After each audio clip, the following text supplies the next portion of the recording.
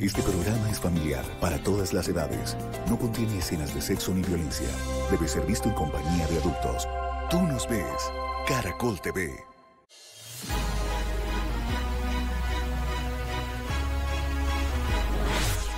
Hola, yo soy Luis Alfredo Velasco Parra, más conocido como Lucho Velasco, y hoy estoy aquí en mi casa en el programa Se dice de mí para contarles mi verdadera historia.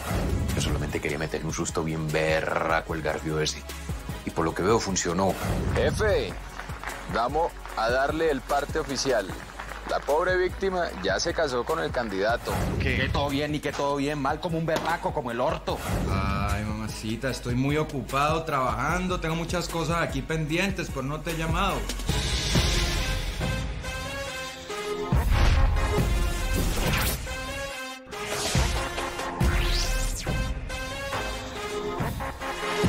Estos momentos el doctor... Se dice de mí, tiene hoy como protagonista al mentor del malo que está de moda en Colombia. Vos, Charlie, vas a ceder. Porque vos y yo somos iguales, la misma ralea. Así es, Lucho Velasco está en Se dice de mí para contarle su verdad oculta al país. Fue un momento de quiebra de mi padre, donde él había invertido lo que tenía en una finca, en una avícola. Hoy Colombia conocerá muchos sentimientos que guarda Lucho en su corazón. Iba en su carro y la- lo cogió la bomba y lo despedazó. Lucho ha vivido más experiencias de las que ustedes se imaginan. Somos retenidos por la guerrilla, eh, en río atrato abajo en una canoa. Aquí comienza Se dice de mí, el programa que muestra la vida de las celebridades sin máscaras. La gente no tiene el menor, el menor reparo en dispararnos por, porque sí.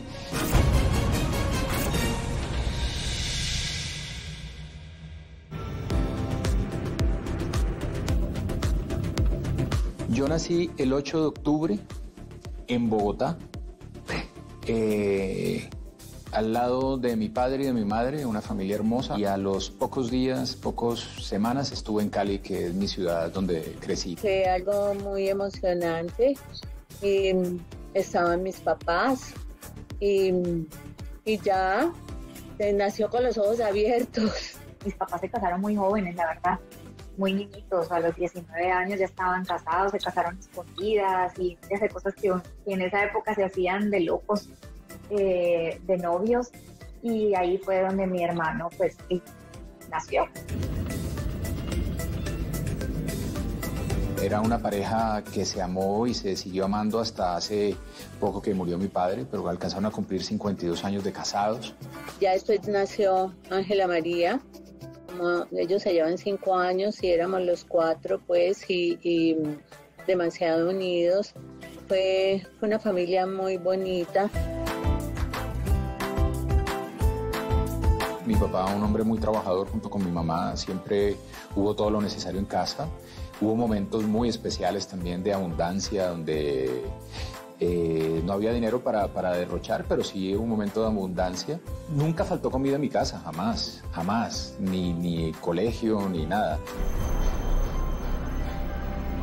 Vivir en Cali en la década de los 80 y parte de los 90 fue muy difícil para él. Una ciudad muy peligrosa, dominada por, por los señores de Cali, eh, que eran cuatro, esa época el cartel de Cali. Allá no se movía una hoja sin el permiso de ellos.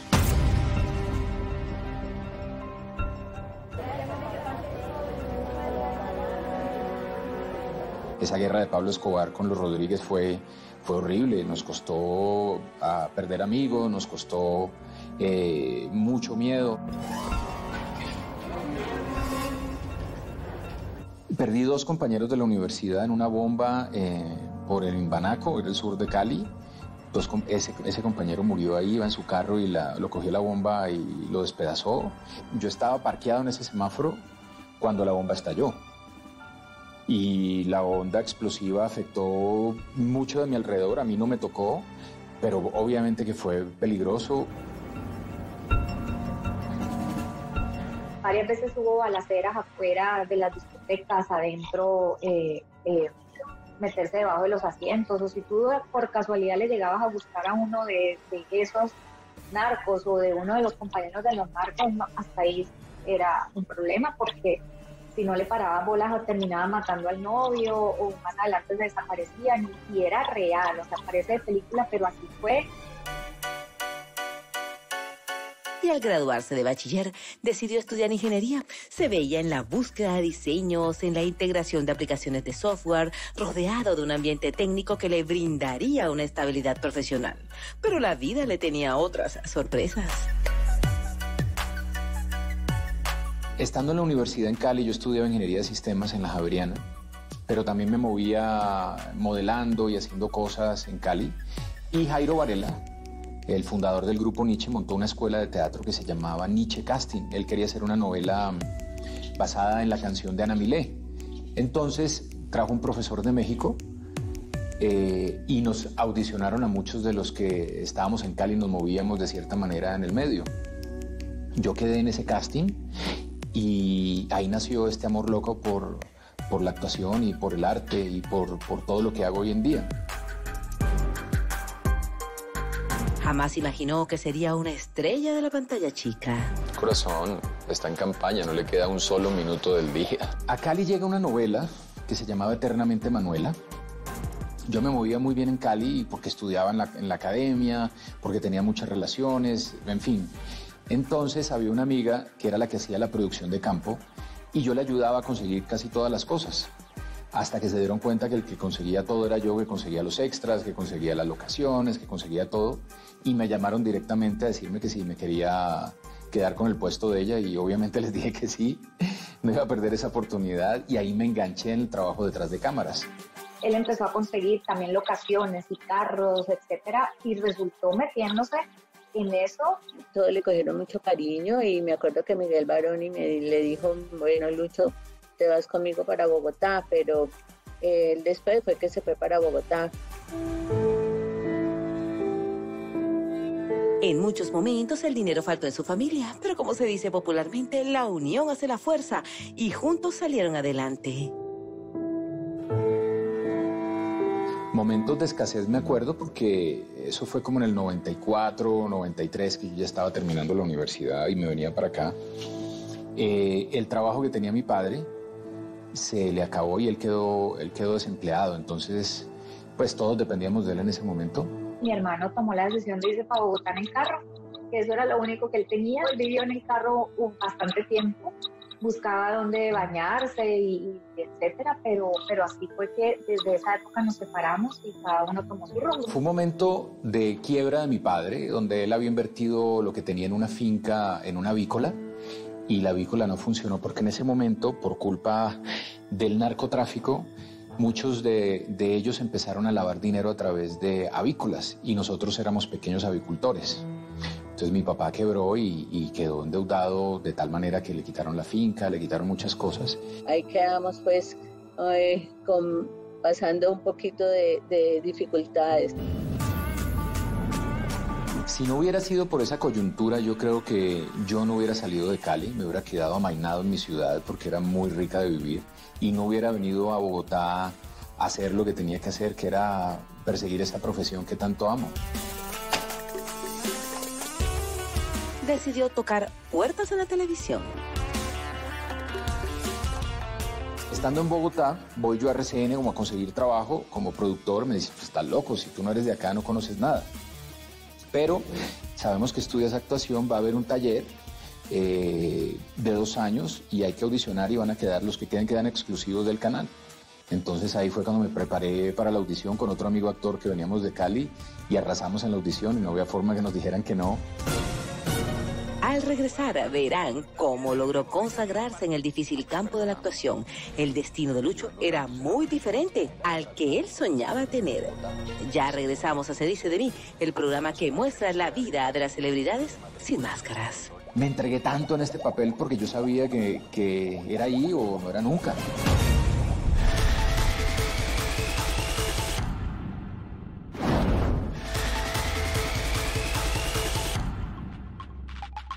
¿Vos quién sos?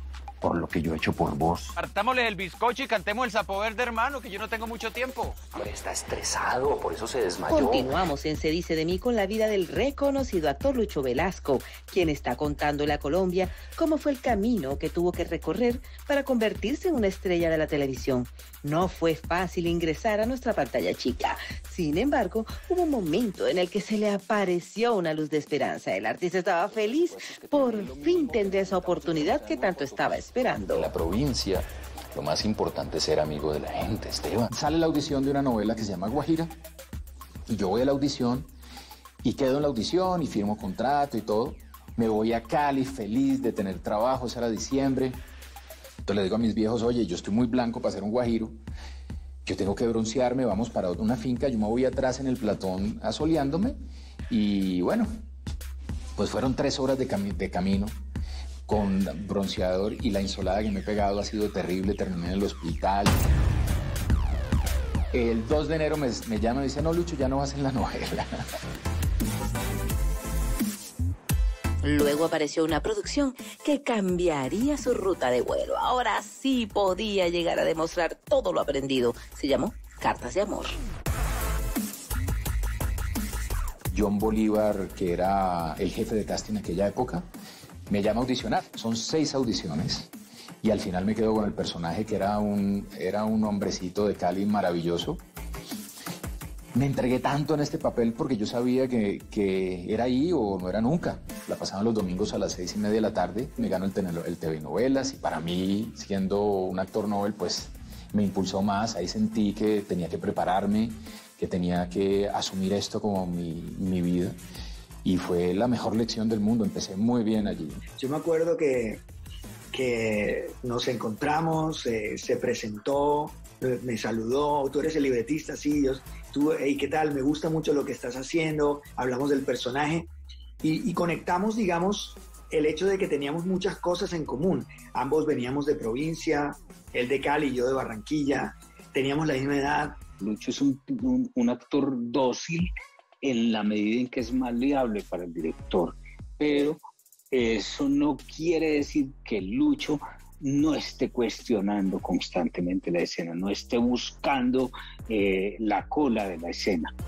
Lucho no se conforma con la cabeza cuando ah, tú le dices esto, aquello, mira, bla, bla, bla, bla, bla, pero él necesita un poquito más de, de esa información. No fue difícil enrolarse rápidamente en el medio de la televisión y Cartas de Amor pues fue lo que le abrió el camino inicialmente.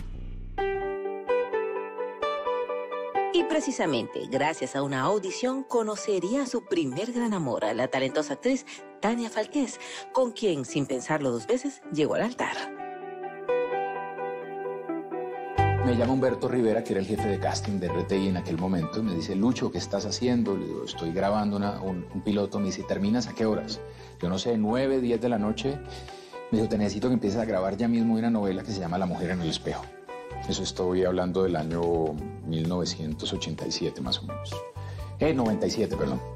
Entonces, efectivamente, Humberto Rivera me está esperando, me entrega 20 libretos de este tamaño, me dice, vamos ya para el estudio, empiezas a grabar hoy, lo que alcancé a leer y a preparar mi personaje. Cuando yo llegué al estudio, salieron dos personas y salió Gustavo Ángel, que lo conocí en ese momento, Gustavo Ángel era una estrella, me recibió muy bien, y salió Tania, que se portó muy bien conmigo y ahí empezó, pues eh, nos conocimos, nos hicimos amigos y haciendo la novela nos enamoramos y terminamos casados. Estábamos muy jóvenes, muy inexpertos, eh, había falta de, de, de comunicación, pienso que por eso se rompen las parejas no nos entendimos en un momento, ya se hizo como invivible la situación y por decisión mutua decidimos separarnos. Lucho se separa, pues están con todo el dolor y todo lo, lo, lo, trágico que puede ser una separación y se fue a vivir a mi casa porque él estaba muy mal, él estaba muy, muy, muy, muy mal. Y yo no, pues véngase, véngase para acá. Empacó maletas y se radicó en México había pasado algo que no voy a entrar en detalles, pero terminé vetado en los canales de televisión por un lío de faldas, pero vetado de verdad, con firma y todo. Y no tuve otra oportunidad más que irme de acá. Desde el primer día que piso yo México, algo mágico pasó. Era como si hubiera me hubieran exorcizado toda esta mala energía que traía de acá. Y la luz empezó a brillar inmediatamente, empecé a trabajar.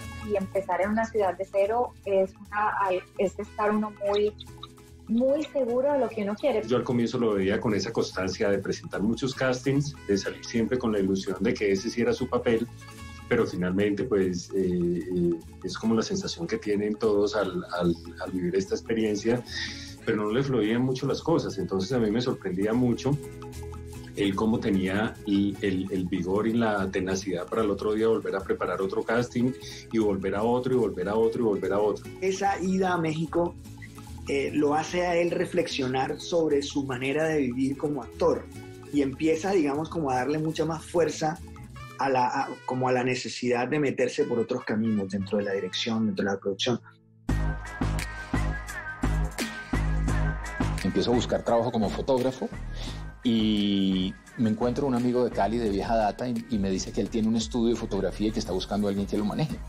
Entonces hacemos una estrategia, empezamos a hacer catálogos, empezamos a, trabajar y mi vida cambia radicalmente. Eh, conozco a otra persona que era el dueño de, de Fashion TV Latinoamérica y me hago muy amigo de él. Empiezo a mostrar mi trabajo en moda, en fotografía. Me contrata y a los dos meses termino yo eh, dirigiendo y siendo productor general de un canal que él tenía también que se llamaba Exclusive TV, un canal de lifestyle. Pasan los dos años trabajando con él y termino yo en Panamá, siendo la base principal del canal y moviéndome entre México, Puerto Rico, eh, Bogotá y, y Panamá. Y empieza a pasar todo esto tan mágico que era trabajar detrás de cámaras hicieron sesiones, sesiones fotográficas maravillosas en Casa de Campo, en la Casa de Julio Iglesias, en la República Dominicana. Hicieron tantas. Y mm, también hicieron muchos desfiles de moda y lucho siempre con eh, recreando en video las imágenes y creo que era un complemento muy interesante y aprendí muchísimo. Y empiezo también a, hacer registros fotográficos y detrás de cámaras de grandes aventuras con un gran amigo mío, casi mi hermano, que es Mauricio Vélez, el fotógrafo. Los tiempos en los que él no estaba preparando castings, sino estaba grabando, estaba viajando conmigo a todos los lugares del mundo en donde en ese momento tenía fotos. Y hicimos muchos viajes, muchas aventuras por es medio mundo entero el que medio mundo entero el que recorrimos. Y me arriesgo por primera vez a hacer un videoclip importante con un pianista que se llama Julián de la Chica. Julián de la Chica a través de otro gran amigo mío que hasta hoy en día lo es, eh, un señor iraní que vive en Nueva York, un hombre muy rico, me contrata para hacer un videoclip para él y hacemos un gran trabajo. Ese video se gana un premio en Los Ángeles y, y empiezo a aprender, aprender, aprender y aprender y me dedico hoy en día completamente cuando no estoy actuando, incluso cuando estoy actuando, también está mi empresa funcionando al mil. Yo hoy en día produzco y dirijo y actúo en mis propias series. Él es demasiado talent, eh, talented para hacer eh, videos y tomar y decisiones de like a director y, eh, y me salió muy bien me salió muy bien este videos Precisamente teniendo la cámara al hombro ocurrió algo que jamás pensó que podía sucederle. Estábamos haciendo un libro para encargo, también para República Dominicana, y llevamos alrededor de dos meses caminando por la selva chocuana, somos retenidos por la guerrilla. Eh, en río atrato abajo en una canoa, nos retienen sabiendo incluso quiénes éramos porque pues en ese momento ya era conocido, Mauricio también. Pasamos un par de días con ellos, nada agresivo, nada, nada fuera normal y nos liberan. Yo con un pequeño golpe en la rodilla porque me asusté un momento y me tiré de la canoa, entonces ahí pasó eso. Afortunadamente logramos tener un buen diálogo con las personas y, y fluir y salir de las circunstancias. Muchos lugares peligrosos hemos recorrido, no solamente el Chocó, sino la Alta Guajira, eh, países como Haití, República Dominicana, Ecuador, Bolivia, Amazonas, todo este tipo de lugares y sobre todo donde nosotros incursionamos son lugares muy peligrosos, que la gente no tiene el menor, el menor reparo en dispararnos por, porque sí. Estando en República Dominicana un 24 de diciembre con Mauricio, entramos a un barrio muy peligroso, que allá le dicen un barrio de tigres. Es un barrio de invasión, un barrio muy peligroso. Y lo primero que nos recibe es un tipo y me pone la pistola en la cabeza. Me dice, te mueres, tú eres del gobierno. O sea, 24 de diciembre la gente con alcohol encima, fiesta. Esto eran las 7, 8 de la noche. Nos tiraban pólvora, pero toda explotaba en las espaldas de Lucho y nosotros pues obviamente no podíamos hacer nada porque, pues estábamos totalmente desprotegidos en, en, este lugar. Me salva que sale la señora de atrás del tipo y me reconoce por una novela. Y eso me dice, no, no, espera, yo a ti te conozco. Le dijo, ¿de dónde? Le digo, no, yo soy actor colombiano, estamos haciendo esto. Y la situación cambia inmediatamente y se vuelve todo a nuestro favor. Eh, recorremos este barrio infinitamente pobre terminamos cenando en una casa de tierra con vino de sidra y, cerdo y ha sido una noche, y fue una noche y una, y una fotografía impresionante y todo lo que aprendimos de esa situación. Y muchas de esas han pasado.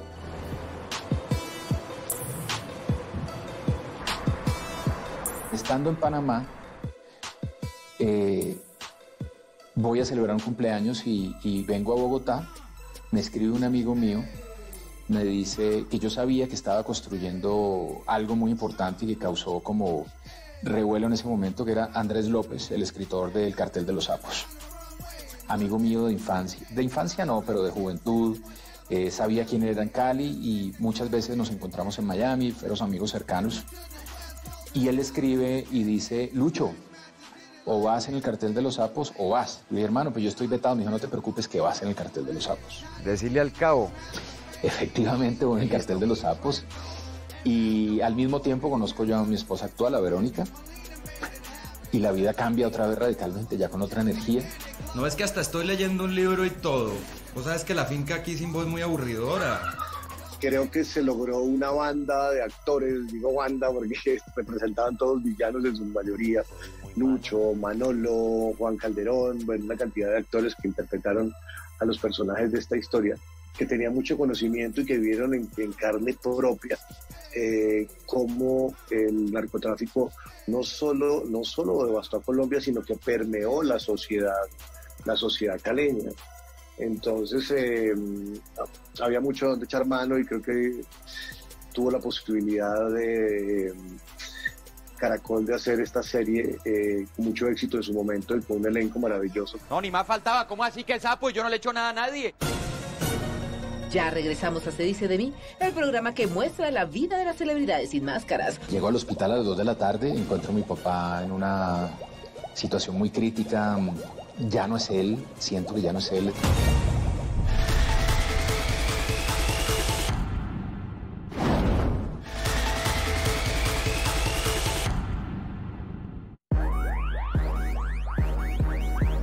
Entramos a la recta final en la vida de Lucho Velasco. El actor le está revelando a Colombia su historia de vida, que no ha sido nada fácil. Hoy Lucho es un hombre mucho más sereno y tranquilo. Se nota que la vida y sus situaciones lo han ayudado a madurar. A lo largo de su existir ha enfrentado grandes tristezas. Hace cinco años a su mamá le diagnosticaron cáncer de seno fue terrible porque nosotros teníamos un viaje, nos íbamos a, para Centroamérica pues a visitar a mi hija y de pronto se me ocurrió pues hacerme, tocarme y yo me sentí como una bolita, pero yo dije, ay no, vámonos porque qué tal que yo tenga cáncer cuando regrese pues donde el médico. Y efectivamente cuando regresamos del viaje fui donde el médico y empezó este proceso tan difícil, fue muy, muy duro. El cáncer es una enfermedad que afecta a todo el círculo familiar, al círculo de amigos, al círculo muy íntimo, porque es una enfermedad muy cruel, es una enfermedad que causa mucha ansiedad. Mi mamá tiene una pequeña cirugía, sale adelante, se cura del cáncer. Eh, hoy en día está perfecta, toma, toma unas pastillas, pero ella la logró, la logró muy bien gracias a Dios salí avante de eso. Y, ahí estuvo Alfred todo el tiempo conmigo.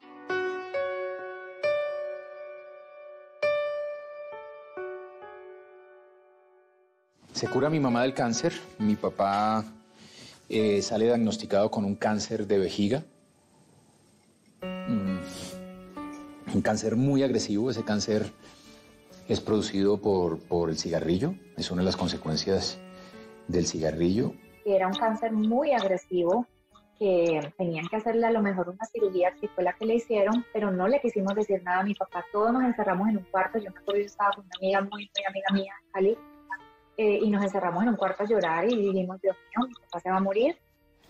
Tiene una, una cirugía muy agresiva donde eh, queda bien, queda muy bien, se recupera del cáncer, pero la quimioterapia le afecta a los riñones.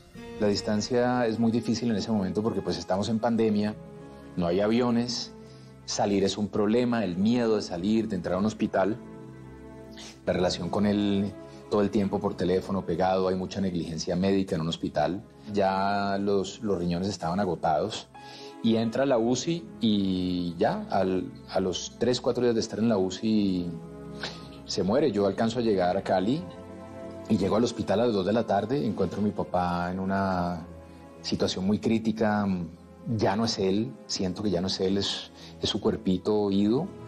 Eh, me despido de él y hablamos con el médico, le decimos que esta agonía no se puede permitir más, que qué hay que hacer. Y pues se firma un documento donde si él entra en paro al quitarle las ayudas médicas, pues no se reanima. Y efectivamente a las 3 se murió rodeado de nosotros, de amor, de su familia, y se fue. Lo veías y era de esos hombres indestructibles físicamente, entonces verlo ir apagando de esa manera pues lo golpeó muchísimo, nos golpeó muchísimo como familia también. Yo vi a Lucho muy, muy, muy mal, o sea, yo lo vi muy triste, muy triste. De hecho, lo, lo vi un poco más delgado porque porque él se entregó como a cuidar a su papá, estar pendiente de él, eh, esa angustia de saber que la persona que amamos se va a ir, eh, pues lo viví con mi hermano hace muy poco, es algo impresionante. Sí, se nos fue, fue muy duro, para mí fue muy duro porque pues fue pues el amor de mi vida, mi compañerito de vida, entonces ya hace nueve meses y, y no, cada día que pasa lo extraño más. Uno dice, la gente dice, no, que el tiempo se encarga de todo y mentiras. No ha sido fácil, no ha sido fácil porque fue toda una vida los dos. Estuvo triste mucho tiempo, me tocó, me tocó un pedazo de, de, ese dolor que, que sintió. A eso se le sumó que Lucho fue contagiado de COVID-19. Antes de viajar a enterrar a mi padre, eh, me hago la prueba, en ese momento no entregaban las pruebas rápido. A mí se me olvida el tema, pasan 26 días y nada que me entregan la prueba, llego a Bogotá y me manda una carta a mi empresa de, de, de, medicina, me dice, oye, qué pena contigo, la demora, positivo. O sea, ya había, podido matar a todo el mundo sin problema, mi esposa se le pegó efectivamente y no pasó mayores, pero pues sí me dio COVID. Yo pasé desapercibido la enfermedad en mí no me causó ni una fiebre ni nada, menos mal. Y, ese fue mi paso por el COVID. Es, es, una cosa muy rara porque si hablamos de unos, no sé, seis, ocho meses atrás, pues parecía que la persona que tuviera COVID se estigmatizara, ¿no? Entonces era como, como un problema hasta contarlo. Y ahora resulta que, estamos todos vulnerables.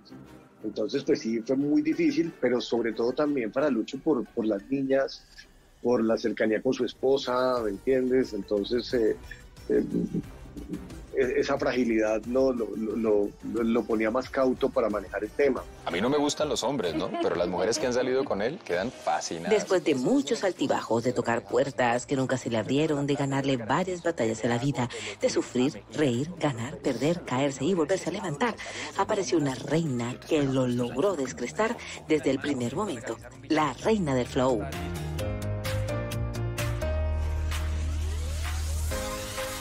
Estoy haciendo una serie y me llama Teleset, que es la productora que hizo esto para, nuestro canal. Me dice, mira, vamos a hacer un proyecto muy chévere, muy chévere, el personaje es así, tal. Entonces voy a audicionar con un director de casting bien teso, que, que lo respeto mucho, y llego yo con una propuesta bien especial. audiciono, tengo ese callback, tengo un callback y definitivamente me quedo con Manina en la primera temporada. ¿Cómo estás de grandotas que ya está hecha toda una señorita? Eh, Él es Manín, el esposo mío, amor. ¿Sí lo reconoces por las fotos? El personaje de Manín, que además yo lo puse por Hermanín, que así es como le llaman los puertorriqueños a los panas, ¿no? Le quedó perfecto, digamos, porque es un poco ese Manín mío y ese Hermanín, ¿no? De la vida. Y fue muy divertido de hacer, muy, muy divertido de hacer cuando sale al aire y se vuelve este fenómeno que fue la reina del flow y nos ganamos este Emmy internacional. Este es un personaje que obviamente es de los personajes que más, más ha marcado su carrera y tiene la, la peculiaridad que es también el de los más recientes, ¿no? Mi personaje ya está muerto para ese entonces.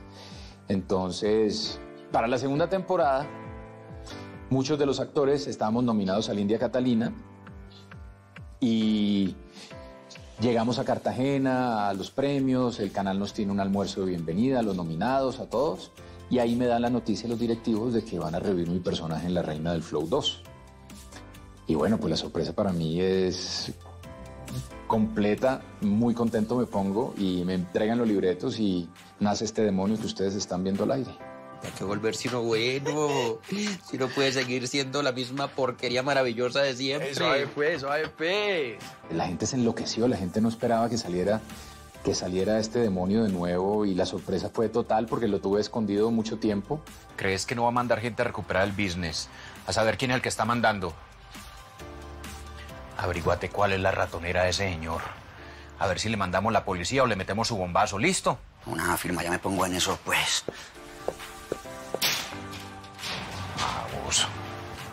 No podía decir absolutamente nada porque era la sorpresa y era el enganche de la serie. Y los comentarios en redes, porque hoy en día tiene uno mucha, mucha relación con, con, con sus fans tiene comunicación completa y 24/7, se sorprenden, me escriben de todo. Para mí ha sido muy gratificante traer este personaje de nuevo a la vida. María, gracias Diosito, qué bonito día, hombre. Él llegó con, con, esa idea de lo quiero que se vea más rudo, quiero que, que realmente la gente vea literal al diablo en esta segunda temporada. Eh, y llegó con esta propuesta de calviarse y, hermano, a mí, a, mí a mí me encantó. Sin duda alguna, así se ve se ve más malo, se ve más, se ve que ha tenido como unos años fuertes el personaje. Yo digo que, que Lucho Velasco es un camaleón. O sea, y cómo lograron rasparle la cabeza literal. Eh, se ve súper chistoso con las pestañas monas, con las cejas monas, pero, pero yo creo que lograron el objetivo que era eh, de un personaje muy, eh, muy maloso que diera mucha credibilidad y esta semana me ponía a pensar y yo, Lucho sí dormirá después de hacer todas esas escenas. Él siempre que se mete a un personaje, se mete de verdad, que yo le digo a veces que cuando llega a la casa no llega él, sino que llega su personaje porque realmente interioriza el personaje y se cree el personaje. Lucho ha sido una persona muy entregada en todo lo que se mete. Entonces, él, él se mete en algo crea el personaje y se mete de fondo a interpretarlo de la forma más, la, la, mejor forma en que se puede interpretar a ese personaje. Él también tiene su propia reina, más allá de la pantalla chica. ¿Conozco yo a Verónica? La conozco en una avenida Cali cuando vivía en Panamá, a Bogotá, perdón, vivía en Panamá, teníamos una amiga en común y le dije que me presentara a alguien que valiera la pena y me presenta a Verónica. Es una diferencia de edad como poco importante. Yo la veo y quedo enamorado de ella esa misma noche y empiezo a conquistarla. Me voy a Panamá a los tres días de estar acá. Perdemos conexión, pero yo me quedé como un mes de nuevo y vuelvo a Bogotá. Y la verdad es que la llamo y le digo que la quiero ver y nunca más vuelve a salir de mi casa ahí quedó, me la, me la secuestré. Y la noche que me, me, conoció Lucho me dijo, tú vas a ser mi esposa. Yo tenía 22 años, pues súper chiquita y, y bueno, ahí se fueron dando las cosas y ya hoy en día pues nos casamos después a los dos años de estar juntos. Y ella es fantástica, es una persona que la conozco hace muchísimos años también. Eh, es eh, una artista plástica impresionante.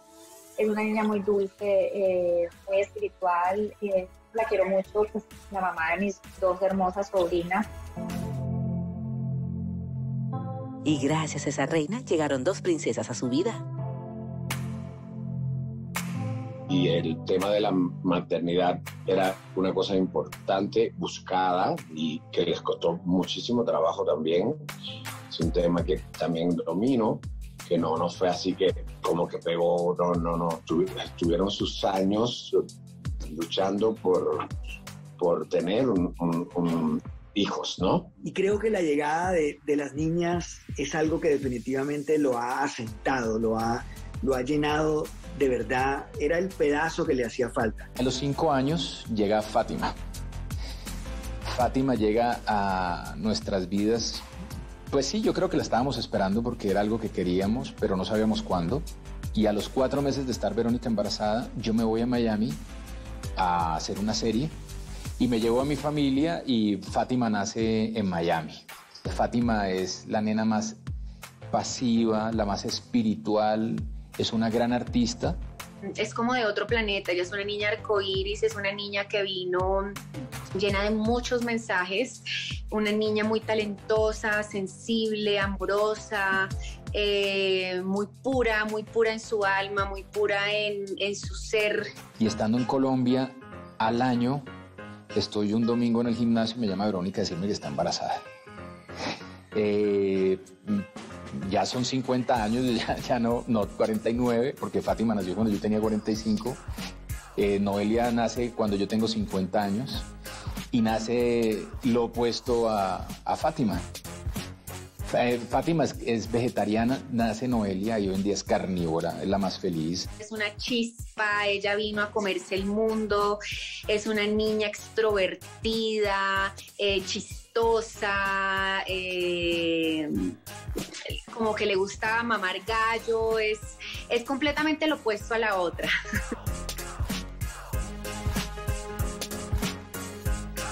Lucho es un gran papá, es lo más tierno del mundo.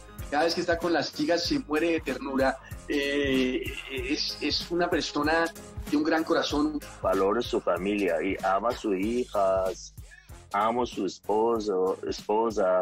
Siento que, que vive un amor absoluto por, por, sus hijas, que son preciosas, y yo lo veo muy feliz, yo lo veo muy feliz. Creo que ha sido un complemento muy interesante para su vida, su vida familiar es, es muy bonita. Lucho no ha dejado de trabajar de manera paralela, actúa y continúa realizando videos musicales para varias figuras nacionales. Siempre me gustó ver lo malo que eran los videos de música popular. Entonces conozco yo a esta mujer y le digo, quiero conocer a Arelis porque quiero hacerle una propuesta. Efectivamente me consigue la cita con Arelis. Eh, llego y le digo, Arelis, tienes que cambiar tu forma de hacer los videos, tienes que, tenemos que hacer esto, esto, esto y esto. Me copia y desarrollamos el primer videoclip que se llamaba Mi Historia, donde yo se lo también le actúo y fue una historia bellísima. Que además es una canción que se grabó en Guadalajara en el rancho del maestro Vicente Fernández, pero con arreglos de Monterrey, México, o sea, norteño. Él se emocionó mucho porque él decía que siempre quería hacer una canción norteña por, por el drama, por todo. Y empezamos a analizar de cómo hacerlo y, fue increíble. Te cuento que para mí hacer el video de mi historia al lado de Lucho fue increíble porque grabamos 26 horas y Lucho eh, tenía todo súper organizado, eh, aparte que le tocaba actuar y era un video muy especial para mí porque actuaba mi mamá, mi hijo, mi familia. la imagen de ella cambia radicalmente. Eh, de ahí hacemos un segundo video que se llama No Podemos Callar, que lo protagonizó Ramiro Meneses y Carolina Acevedo. Todo esto es escrito, producido y dirigido por mí. Lucho es un director que plantea, que, que, habla contigo, te dice, no, mira, es que más o menos este es el efecto de lo que quiero, la idea es esta, eh, ven por este lado, y bueno, es, es, es, es también muy amoroso con, con uno como actor. Y se vuelve muy importante en Latinoamérica porque se vuelve un, un ícono de, del maltrato a la mujer. Hacemos otro sin trascendencia en Medellín, Y hacemos el último, que es un homenaje a Darío Gómez con Nadie es Eterno. El homenaje al maestro Darío Gómez queríamos que fuera como una serie de tres minutos y él hizo una obra maestra en este video, la verdad, con Margarita Castro, con, con Gustavo Angarita, con todos estos actores, hizo una novela de tres minutos maravillosa. Entonces, Lucho es un gran soñador, un gran productor y le pido a todos los artistas de Colombia que lo tengan en cuenta porque es espectacular. Encontró en la música popular un nicho muy interesante y empezó a hacer videos musicales, videos musicales con primeras figuras de la música popular. Y allí pasa algo muy bonito y es que eh, esa misma música lo motivó a empezar a dirigir y a contar historias eh, diferentes en sus videos. Ya tenía puestas en escena y después de la puesta en escena salió la posibilidad de empezar a hacer em, historias como la del Charrito Negro, que hizo para canales regionales y que tuvo muchísimo éxito. Quedo nominado, tengo dos nominaciones en mi primera serie, yo mismo como actor en mi propia serie, como actor antagónico y como mejor actor infantil. Eh, sigo trabajando en la música y el año pasado, gracias a, la llamada de, de unos socios en Cali, me invitan a producir y a codirigir un proyecto que se llama Amparo Arrebato, eh, que estamos nominados ahorita, tuvimos seis nominaciones a los India Catalina, yo como mejor director y también como actor antagónico en mi propia serie. Y ahí va esta carrera detrás de cámaras y, como actor. Maíz para las gallinas. Así fue el paso de Lucho Velasco por Se dice de mí. Un hombre fuerte, un luchador que no le teme a nada a la hora de cumplir sus sueños y los de su familia. Este caleño de corazón es un padre entregado que se esfuerza por ser cada día mejor y quien tiene la satisfacción de poder decir que todos los triunfos se los ha ganado a pulso.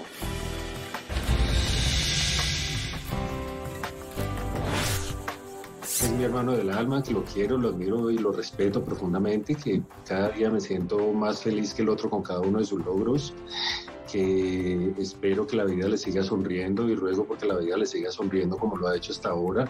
Te quiero. Sabes que me haces muchísima falta y espero que te vengas a vacunar. como todos. Eres un buen ejemplo a seguir para todas las personas que pueden reconocer el esfuerzo en un ser humano y, y la dedicación. Y eso tú desde este momento y desde hace mucho rato lo has venido mostrando y demostrando. Entonces, eh, un placer ser tu amigo. Espero que Dios te dé vida y salud para que disfrutes de tu familia, de tu profesión por muchísimos años. Te deseo lo mejor. Un abrazo. Eres un gran ser humano, un gran actor, eh, con un gran futuro, hermano. Te deseo lo mejor siempre. Besos y abrazos, te quiero. te quiero y quiero a tu familia. Te extraño mucho y no puedo esperar a volver a verte.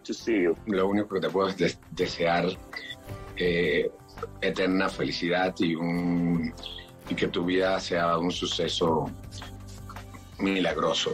Mi brother, pues yo qué te puedo decir, hermano. Eh, te mando el, el, cariño de siempre, el amor de siempre y, sabes perfectamente que aquí estoy, así como yo también sé que tú siempre estás aquí. Han pasado los años, eh, muchas historias juntos, muchos momentos juntos y, y lo, lo, que has creado alrededor tuyo, la bonita familia que tienes y, el buen perfil como actor, director y productor, te lo has ganado paso a paso, es muy merecido y un aplauso, un aplauso de pie, Luchito, te quiero mucho. quiero verte pronto, que te extraño, que te amo me hace falta. Lo admiro, em, lo respeto como actor, como persona es increíble, es un ser muy lindo, maravilloso. Te amo, mi amor. Que me siento muy orgullosa de ti, me siento muy orgullosa de todo lo que, lo que has logrado durante todos estos años. Espero que la vida te siga sonriendo, que la vida te siga regalando momentos maravillosos junto a tus hijas, junto a nosotros, junto a toda la familia. Gracias a ustedes por, por honrar mi trabajo, por escribirme, por tomarse el tiempo de escribirme cosas bonitas, también cosas feas, pero yo sé que todo es en pro de, del personaje. Eh, espero nunca defraudarlos, espero poder seguir haciendo un trabajo impecable para ustedes y espero que siempre estén acompañándome. Gracias, bendiciones a cada uno de, ustedes. Ojalá salgamos de esta coyuntura pronto y podamos retomar nuestro trabajo Necesitamos del abrazo, del amor y del cariño de nuestros amigos y de la gente